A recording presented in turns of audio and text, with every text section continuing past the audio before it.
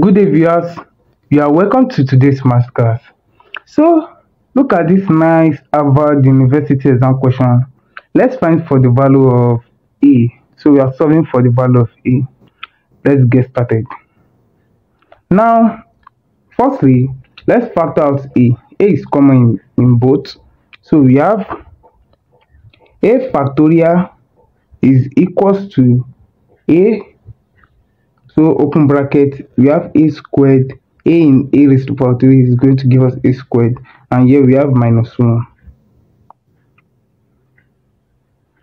now we can use the formula for difference of 2 square here. Since we have a raised to the power of 2 minus 1 don't forget 1 is same thing as 1 raised to the power of 2 so using the formula for difference of 2 square where you have a raised to the power of 2 minus raised power of 2 is equal to a minus b into bracket a plus b. So here now we have a factorial is equals to a into bracket a minus 1 another bracket again a plus 1. So now don't forget this is a factorial and we said when you have n factorial.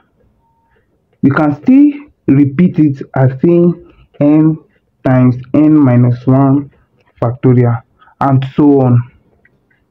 So let's repeat this by saying a multiplied by a minus 1 factorial is equals to a open bracket a minus 1 open bracket a plus 1 so this cancel out mistake. This cancel out this. We have a minus 1 factorial is equals to sorry there's a mistake here. So we have a minus 1 into bracket a plus 1 so guys we are solving for that. Let a minus 1 equals k. So therefore if a minus 1 is equal to k a plus 1 will be a minus 1 by adding 2 to both sides plus 2 and also here plus 2 therefore this is going to give us a plus 1 which is equal to k plus 2 so a plus 1 is equals to k plus 2 when a minus 1 is equals to k. Now substitute this if here we have k factorial is equals to k multiplied by k plus 2. We have k factorial is equals to k squared plus 2k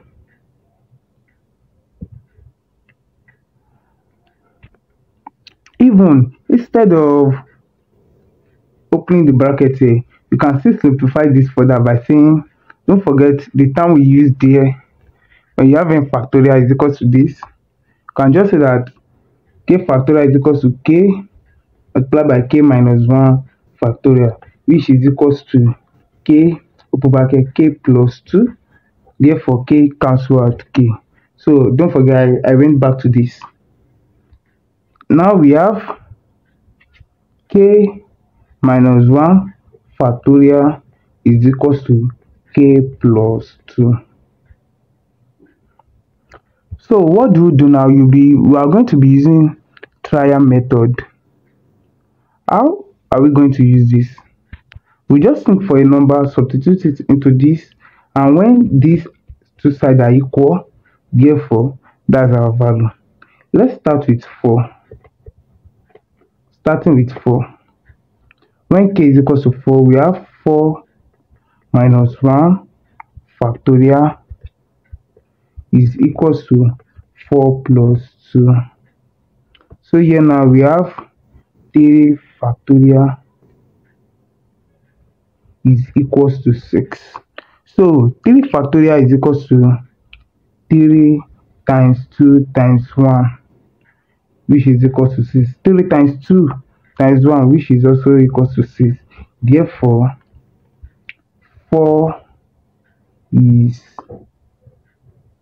is a solution. Since when we substitute 4 into this into the two sides, it gives us a balanced number. The two sides are equal to each other. Therefore, 4 is the solution. And now going back to the question, we said a minus 1 is equals to k. And k here now is equals to 4 since 4, 4, 4, 4 works for both sides. So we have a minus 1 is equals to k. And we have a minus 1 is equals to 4. Therefore, a is equals to 4 plus 1. So A is equals to 5. Now going back, we said A is equals to 5 as we have gotten it. So let's test our answer. When you put 5 here, 5 factorial, we are going to have 5 factorial is equals to 5 raised to the power of 3 minus 5. So we said 5 raised to the power of 3 is equals to 1, 2, 5 minus 5 which is equal to 120 and 5 factorial is 5 times 4 times 3 times 2 times 1 so 5 times 4 20 20 times 3 60 60 times 2 120 therefore we are correct. A is definitely equals to 5 guys please don't forget to like share and subscribe. Bye bye love you